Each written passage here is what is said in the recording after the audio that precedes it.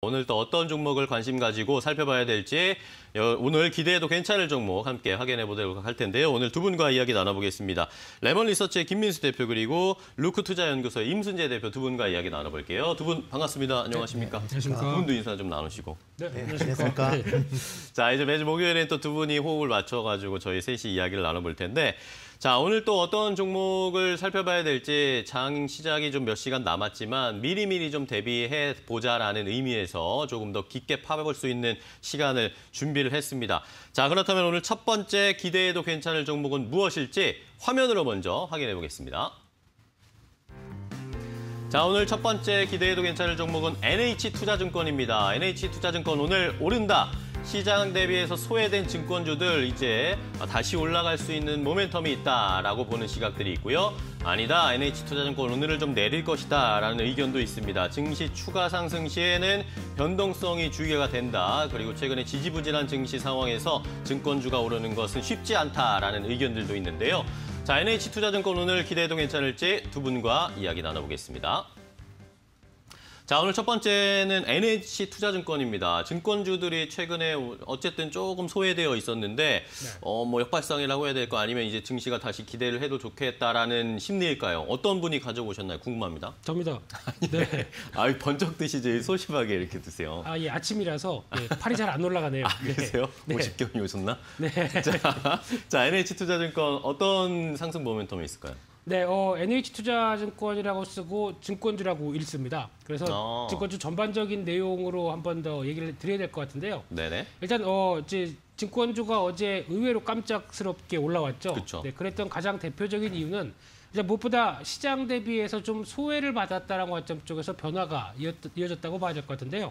어, 특히 어, 코스피 지수와 어, 증권 업종의 추이를 같이 비교를 해보게 되면요. 네. 한때는 어, 올해 초 같은 경우 시장과 함께 거의 비슷한 상승률을 보였었죠. 그런데 어, 어떤 아직 그림이 아직 안 나오는데 어, 그와 함께 어, 업종 대비 변화를 보게 되면은 오히려 어떤 코스피 지수보다 상당히 좀 떨어졌던 모습들이 한 3개월 동안. 진행됐습니다. 네, 그러다 보니까 어, 어떤 좀 괴리감이 좀 있지 않나라고 관점이 있는데 그럼에도 불구하고 한 3,100선까지 올라온 시장을 증권주가 반영을 못했다라고 관점 쪽에서 이를 또 빠르게 반영하다 보니까 어제 나왔던 변화가 이런 어떤 어, 소외됐던 측면들이 변화가 되는 그런 흐름들이라고 봐야 될 것 같고요. 게다가 또 기업들이 실적이 호조가 되면서 증시도 강할 걸로 보여지고 있는데 네. 그러면 증권주도 이를 투영하는 그림자 역할을 하는데 어, 좀 더 못 오른 게 아니냐라는 관점 쪽에서 변화가 왔다고 봐야 될 것 같고요.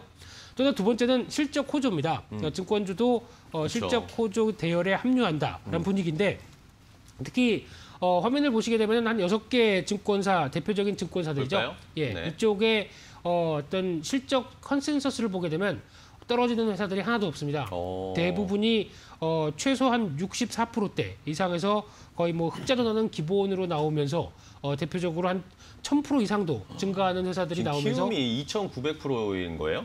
네, 2,900%로 적혀 있습니다. 네, 그렇다는 얘기는 작년에 얼마나 못했으면 이런 생각도 들고 있는데 네. 어, 그럼에도 불구하고 한 단계 레벨업된 실적들은 다 보여줄 것이다라는 쪽이 나오다 보니까 아무래도 어, 이런 컨센서스가 상당히 높아가는데 업종도 너무 처져 있다 이런 분위기가 좀 컸다고 봐야 될 것 같고요.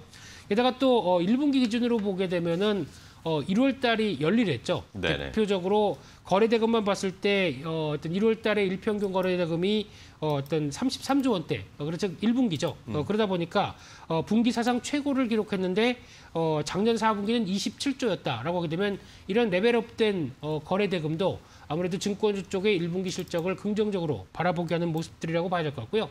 게다가 또 신용장고도 사상 최대였었죠. 그렇죠. 네, 그러다 보니까 양시장 합쳐서 한 22조 원대 가까이 나오는 신용장고를 보게 되면 어, 솔직히 이게 증권사인지 은행인지 모를 정도로 네, 네. 이자 장사 잘했죠. 음. 그러다 보니까 이자 수입까지 계산한다라고 하게 되면 실적에 대한 기대감이 높은 게 현실이다. 음. 이렇게 봐야 될 것 같습니다. 네.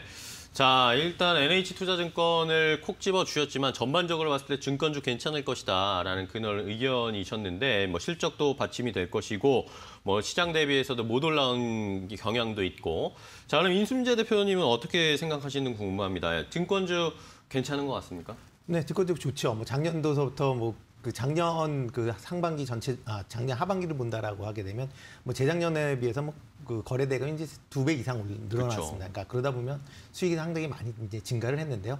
어떤 그 그럼에도 불구하고 작년 하반기 그렇게 주 가가 별로 강하진 못했습니다. 음. 그러니까 뭐 올 상반기도 그랬고요. 그렇기 때문에 상반기까지도 계속 뭐 시장이 좋아진다라고 하면 뭐 주가는 좀 더 상승할 여력은 충분히 있지 않을까라는 생각이 들고요. 네. 뭐 대형주 쪽도 관심을 가지실 필요가 있는데 중소형 증권주 쪽으로도 좀 어. 관심을 가질 필요가 있지 않을까 싶습니다. 중소형 증권주 네. 어떤 거 볼까요? 뭐 메리츠 같은 경우도 뭐 약간 메리츠. 네, 메리츠도 그렇고요. 아니면 유진투자증권 같은 경우도 그렇고 뭐 현대차증권도 같이 이제 이런 회사들도 비교적 이제 거래 대금이 많이 늘어나면서 음. 수익도 상당히 많이 늘어났습니다. 아마 사상 최대치로 아마 늘어나는 그런 모양새를 보이고 있기 때문에 그 뭐 주가도 최근 들어 비탄력적인 측면도 있기 때문에 한번 조금은 관심을 가지 실 필요가 있지 않을까 싶습니다. 네, 좋습니다.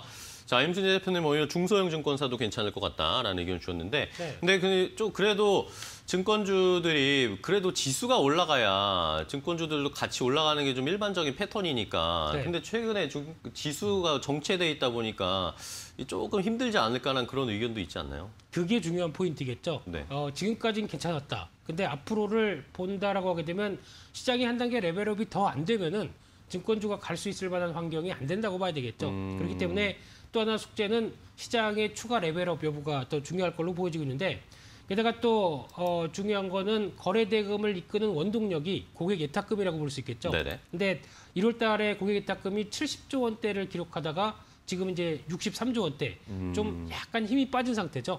어, 그런 흐름들 쪽에서 어, 또 어제 시장이 중소형 증권사들이 강했습니다. 그리고 또 우선주도 증권사 우선주도 강했다는 얘기는 특히 어제 모 증권사 같은 경우는 또 어, 윤석열 테마, 뭐 정치 아, 테마 예, 그쵸, 쪽으로 그쵸. 또 연결되면서 보다 보니까 또 무슨 같은 또 파평윤 씨의 뭐 이렇게 쭉 나오는 한평균 시 테마주가 아주 난립니다. 네, 네, 그러다 보니까 이게 어떻게 보면 질이 그렇게 썩 좋을 것이냐라는 부분들은 그러니까요. 또 하나 의문이라고 봐야 될 것 같고요.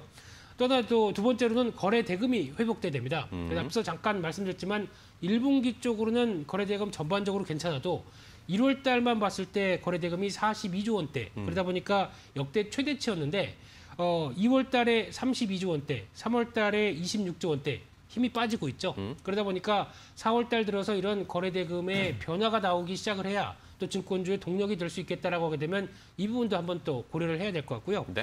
게다가 또 일회성 비용도 반영되죠. 특히 NH투자증권 같은 경우 옵티머스 펀드의 100% 어, 어떤 배상에 대한 권고가 나왔습니다. 음. 그렇다는 얘기는 어, 물론 불확실성이 제거됐다라고 볼 수 있는데 다른 증권사들도 이런 부분들 어떤 대손 충당금이 반영된다든가 비용이 또 반영될 가능성이 있다 보니까 어, 수익은 또 줄을 수 있겠다. 이런 쪽도 어, 눈길이 가야 된다고 봐야 될 것 같습니다. 네.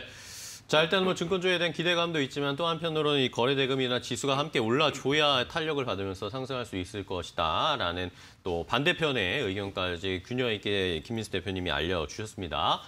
자, 첫 번째 관심 가져볼 오늘 기대해도 괜찮을 NH투자증권 확인해봤고요.